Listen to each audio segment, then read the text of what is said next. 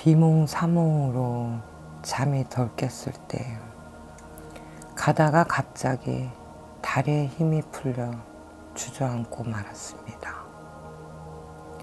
돌아가는 길에 어젯밤 노 부부가 앉아 계셨던 평상을 봤는데 그 자리엔 무덤 두 개가 있더군요.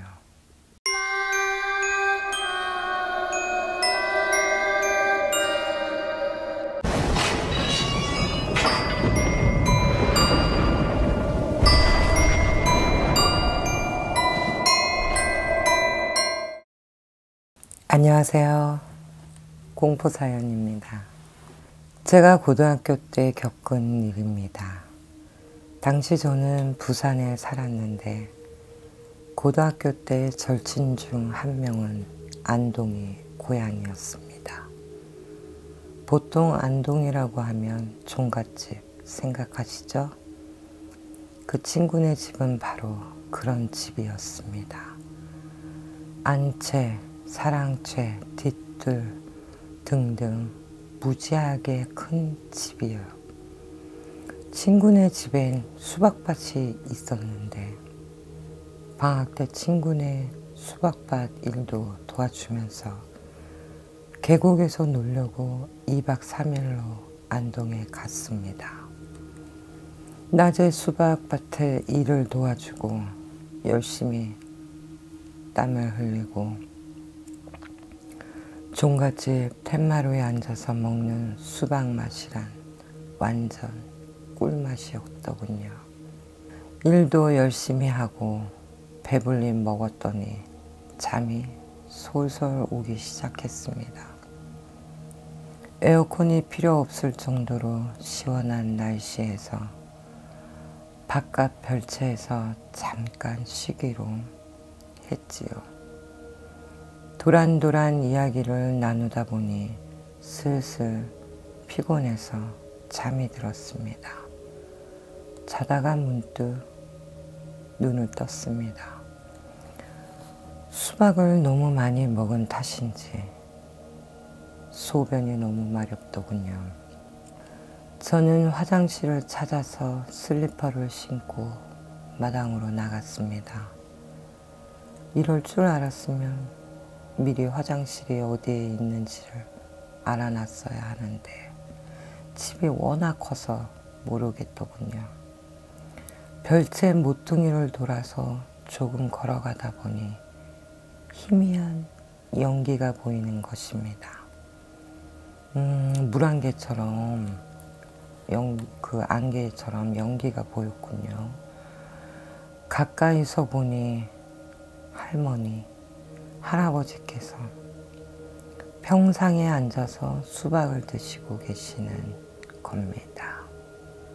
모기가 많아서인지 평상 중간에는 모기 한 가지 피워 놓으셨더군요. 제가 근처를 지나니 할머니께서 말을 건네셨습니다. 수박 좀 들고 가시게나. 그래서 저는 수박을 너무 많이 먹어서 화장실을 찾고 있는 중이라 소금 보고 와서 먹겠습니다. 라고 거절했더니 갑자기 할아버지께서 예끼 놈, 안 먹을 거면 썩 꺼져라. 이 불황당 같은 놈아. 이러시는 겁니다. 저는 갑작스러운 호통에 뛰었습니다. 뛰다 보니 다행히 화장실이 보이더군요. 시원하게 소변을 넣고 노 부부의 성의를 거절한 게 미안해서 할머니 할아버지를 찾으러 그쪽으로 다시 돌아갈까 했지만 또 수박을 먹으면 밤새 화장실을 들락거려야 할 것 같아서 그냥 잠을 자러 별채로 갔습니다. 피곤했던지라 눕자마자 바로 다시 잠들었고 아침에 친구가 흔들어 깨우는 바람에 늦잠을 자지 못하고 일어났습니다. 친구네 집은 오전 7시에 아침 식사를 한다 하더군요. 안동은 양반 집에 아주 유명하죠. 그러니 당연히 7시면 아침밥 먹을 만합니다. 친구네 집에서 아침을 먹고 비몽사몽으로 잠이 덜 깼을 때 가다가 갑자기 다리에 힘이 풀려 주저앉고 말았습니다. 돌아가는 길에 어젯밤 노 부부가 앉아 계셨던 평상을 봤는데 그 자리엔 무덤 두 개가 있더군요. 제가 어제 모기향이라고 생각했던 건 향이었던 것입니다. 친구한테 어젯밤 일을 이야기하니 어제 제가 봤던 노부부는 돌아가신 지 오래되셨다고 하네요. 그 묘의 주인은 굉장히 오래되신 분이란 뜻이에요. 저 무덤은 집터가 있을 무렵부터 있었다는데 연락들이 안 되니까 친척들이 없어서 마을 사람들이 이장을 하려고 몇 번을 시도했지만 그때마다 노 부부가 꿈에 나타나서 결국은 그냥 그 자리에 무덤이 계속 있다고 하네요. 문득 그분들이 저에게 주려고 했던 수박의 정체가 뭐였을지 궁금해집니다. 원래 꿈속에서 죽은 영가들이 주는 음식을 먹으면 병이 든다고 하죠. 근데 저는 어떤 아기가 있어 보이진 않네요. 어차피 그 안동 친구 집은 수박밭도 갖고 있고 향을 피워놨다는 얘기는 수박을 진설했다는 뜻도 되거든요. 내 조상의 묘가 아니더라도 늘 그곳의 마을에 집 옆에 그렇게 나란히 두 묘가 있다면 아마 저라도 음료수나 물이나 기타 계절 과일을 한 번씩은 그냥 놔드렸을 것 같아요. 그러니 좋은 뜻에서 너도 수박을 먹어보렴 했는데 할아버지가 예끼 불황당 같은 놈아라고 한 거는 생전에 할아버지가 성깔 좀 있으셨던 것 같아요. 그래도 이 친구는 뭔가 신가물이 있고 어, 육감이 뛰어난 친구다 보니까 비몽사몽 간에도 영가를 볼 수 있었다는 게 대단한 거죠.